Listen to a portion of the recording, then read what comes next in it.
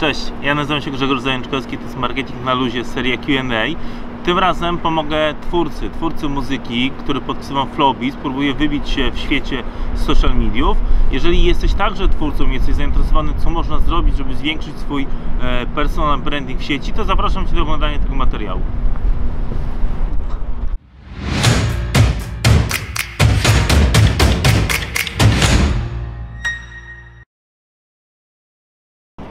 Można powiedzieć, że najprościej jest stworzyć muzykę, przerzucić je na różne stoki i tam ją sprzedawać. Oczywiście, że tak i o tym ja też nie będę mówił, że e, tam warto zaistnieć i tam wrzucać swoje kawałki, opisywać i spróbować się tam promować. Ja postaram się powiedzieć o tym, co można zrobić w social media, czyli na przykład na Facebooku, czy na Instagramie, czy na YouTubie.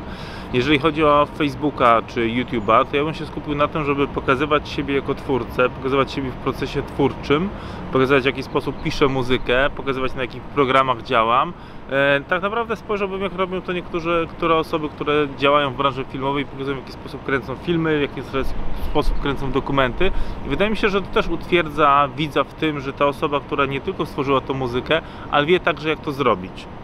Oprócz tego, oprócz tego skupiłbym się też na tym, żeby spróbować już bezpośrednio sprzedawać swoją muzykę, czy też promować. Więc jeżeli miałbym ją bezpośrednio sprzedawać, to wbiłbym się na takie grupy, które, na których siedzą filmowcy, jak grupa Filmujemy, Lensbusters na przykład, czy inne grupy, gdzie pokazałbym, że jestem twórcą muzyki, wrzucam Wam darmowe, e, darmowe swoje podkłady, możecie z nich skorzystać. Może zrobiłbym z adminem danej grupy jakiś konkurs, gdzie wrzućcie swój film, zmontujcie go bez muzyki, a ja go Wam udźwiękowię i w ten sposób budowałbym swój wizerunek jego gości gościa, który zna się na muzyce, umie zrobić fajną muzykę, fajną, e, fajny podkład pod konkretne produkcje filmowe, bo w ten sposób możesz znaleźć sobie fajnych klientów wśród właśnie twórców e, filmowych. Oprócz tego spróbowałbym na przykład nawiązać e, współpracę z różnymi youtuberami, e, być może z youtuberami podróżnikami, którzy kręcą swoje filmy i potrzebują często podkładów muzycznych i w ten sposób będziesz mógł się też wypromować i Twoja muzyka będzie bardziej e, znana w, gronie takich osób, które to oglądają. A w ramach użyczenia muzyki różnym osobom to ja właśnie wykorzystałem Twój jeden kawałek, żeby pokazać jak wygląda tutaj miejsce, w którym jestem, czyli okolice opery.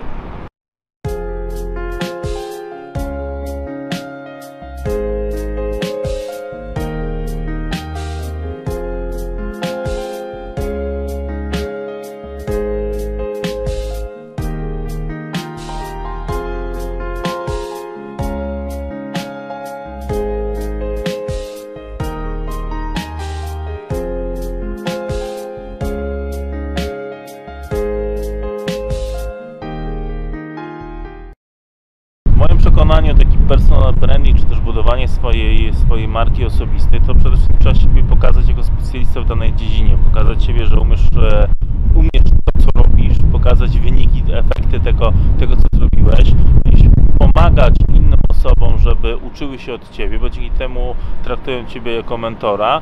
E, no i w ten sposób może tworzyć i w ten sposób może działać praktycznie każdy twórca, e, budować swoją społeczność, budować swoją grupę na, czy na Facebooku, czy grupę na YouTubie, czy jeżeli to jest profil biznesowy, to na LinkedInie, czy na Twitterze może. E, więc Ty musisz znaleźć swoją niszę spróbować w niej się wybić, pokazać, co Ty umiesz robić lepiej niż inni, albo jeżeli robisz to samo, to w jaki sposób inaczej podchodzisz do tematu, tak żeby się wyróżnić na tle innych. Inaczej tak naprawdę jest duża szansa, że zginiemy w ciągu tego, co, e, co jest, bo tych wiadomości i podobnych twórców w internecie jest na pewno bardzo dużo. Oczywiście to nie znaczy, że nie musisz wydać kasy na, na kampanię reklamową e, czy też każdy z twórców nie musi. Wszystko zależy od tego, do której grupy chcesz dotrzeć i taką grupę możesz sobie spokojnie znaleźć na Facebooku w menedżerze reklam i puszczać kampanię reklamową, czy kampanię reklamową skierowaną do osób e, tworzących muzykę, czy kampanię reklamową do muzyków, czy do grup muzycznych.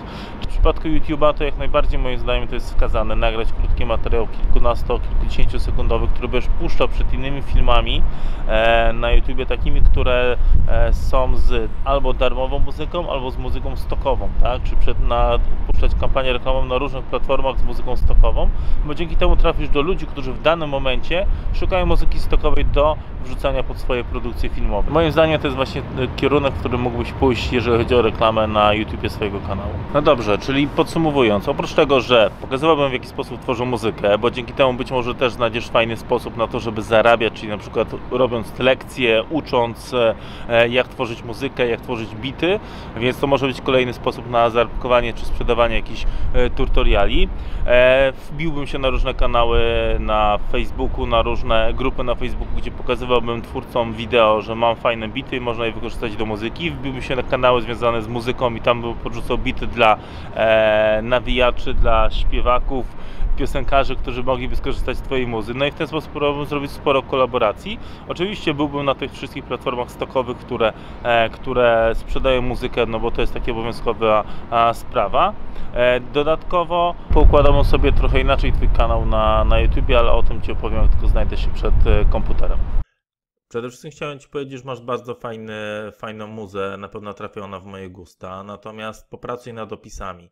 Ja już wrzuciłem jeden materiał o tym, jak się dać znaleźć na YouTubie i co zrobić, żeby się, e, żeby się odszukać, więc nie będę wszystkiego powtarzał, ale takie krótkie szoty to popracuj nad tytułem. Pamiętaj, że to, co Ty napiszesz, czy w tytule, czy napiszesz tutaj w opisie, to mają być takie rzeczy, za pomocą ktoś, których ktoś Ciebie będzie mógł znaleźć w e, wyszukiwarce, więc jeżeli chcesz się pozycjonować i dać się znaleźć pod tytułem e, muzyk do wynajęcia, e, darmowe bity, muzyka do filmu, muzyka do reklamy, muzyka dla zespołów, etc., no to te wszystkie rzeczy musisz raz, że opisać w hashtagach. Dobrze, gdybyś w jakiś fajny sposób opisał je także tutaj w, w opisie. Mm, e, fajnie, gdybyś właśnie użył ich jako nie rap, jako hip-hop, tylko muzyka do filmu i takich hashtagów użył, muzyka do reklamy, e, etc. I ty, w ramach tych hashtagów budował sobie grupę, a nie w ramach hip-hop czy rap. No chyba, że chcesz w tym, e, w tym kontekście dać się znaleźć różnym nawijaczom, żeby mogli skorzystać z Twoich bitów. Pokombinuj tutaj też z odnośnikami do Twoich e, social mediów pozostałych, do Instagrama, do, e, do, do Facebooka, bo tutaj żadnych odnośników nie ma. Jeżeli chciałbym Ciebie nawet znaleźć i skontaktować się z Tobą, to kliknę na Flowbeats Official, no i co? I dalej nie mogę się znaleźć. To więc jeżeli chcesz, żebym ja Ciebie znalazł u Ciebie na kanale, czy się z Tobą skontaktował, to pójdź od razu tutaj adres mailowy, dane kontaktowe, etc uporządkuj sobie ten opis, który będziesz być może później mógł kopiować przynajmniej jakąś taką stopkę, no ale tak w taki sposób, żeby, tak jak mówiłem, można było Cię odnaleźć przez, przez YouTube'a, dana osoba, która jak to zobaczy, żeby od razu wiedziała o co tu chodzi, tak? Żeby wiedziała, że może, e, dobra, napisałeś tutaj beat emocjonalny, spoko i od razu licencja, mix, track, e, jeżeli Ci się spodobał, nie stawiaj łapki w górę, oczywiście jak najbardziej, no ale napisz, że mogę kupić sobie całą e, licencję, cały, e, cały beat jeżeli chcesz, to mogę zrobić dla Ciebie konkretną muzę pod Twoje potrzeby, pod Twój film, pod, twój, e, pod Twoją kapelę i tak dalej, i tak dalej. Więc takie rzeczy bym tutaj po, e, poopisywał. E, oczywiście, jeżeli mówimy o całej stronie, no to już e, dobrze, że masz tutaj przynajmniej w miarę to, to poukładane. E, zastanawiam się nad tym, czy nie powinieneś mieć jednakowych jednak miniaturek, które będą w jasny sposób mówiła, mówiły pod tytułem, że taka i taka muzyka, e, która może pomóc w tym, w tym i w tym, tak? Czy albo żeby był od razu branding, że to jest Flowbeats, czyli do, logotyp, że za każdym razem, kiedy ktoś zobaczy, żeby od razu wiedział, że to jest Twoja muza. Do czego zmierzam? Zmierzam chociażby do tego, jak tutaj mają vlog, no copyright music, widzisz? To wszystko od razu wiadomo, że to jest jedna firma, jeden vlog, wiadomo, że no copyright e, i tak dalej, i tak dalej. Więc jest, jak to zobaczę później tutaj gdzieś e, z boku, w, e, gdy będę przeglądał, to będę wiedział, że to jest, to jest muza od ciebie i łatwiej będzie mi podjąć decyzję, czy mam to wkliknąć, czy też nie kliknąć. Więc o takie pewne rzeczy warto zadbać, warto zobaczyć, jak to robią inni przestudiować sobie, zobacz ile to jest odnośników i tak dalej przejrzyj te rzeczy i spróbuj się wzorować właśnie na takich, e, na takich e, firmach, czy też na takich kanałach na YouTube, do których chciałbyś i do których się ewentualnie porównujesz. Mm, e, co więcej, tak samo jak masz playlisty, i no to zrobiłeś je, ok, fajnie, tylko też no, ponazywaj je tak, żebym ja mógł z nich skorzystać, bo ja nie wiem co znaczy Sony, chyba że muzycy wiedzą i to się wygłupiam, nie? Dobrze, masz tutaj także tutoriale, no ale dobrze gdybyś w tym tutorialu zaczął mówić, bo e, być może osoby, które które czegoś szukają, w łatwy sposób skumają o co tu chodzi. No ale to ja powiem po swoim przykładzie. Ja jednak wolę zobaczyć człowieka, który do mnie mówi, który opowiada mi, co się dzieje na ekranie, dlaczego tą ikonkę, a nie tamtą wybrał, co teraz robię, co powinien zrobić. Wolałbym to usłyszeć, co się dzieje, niż tylko obserwować, więc jeżeli chcesz pokazywać i uczyć ludzi, w jaki sposób tworzyć muzykę, obrabiać, etc., to tak jak już mówiłem wcześniej, to jest super pomysł, tylko trzeba to tak dopracować, żeby było jak najbardziej, e, jak najbardziej zrozumiałe dla społeczeństwa po prostu. Podsumowując, moim zdaniem popraw sobie opisy, popraw sobie e, to, w jaki sposób masz pokładany kanał na YouTubie, czy albo miniaturki, etc. Zobacz to, co ja już nagrałem wcześniej o tym, jak ułożyć sobie kanał na YouTubie. Moim zdaniem także uważam, że każdy twórca, a to bardziej twórca muzyczny, powinien w jakiś sposób nawiązywać kontakt ze swoimi fanami, tak?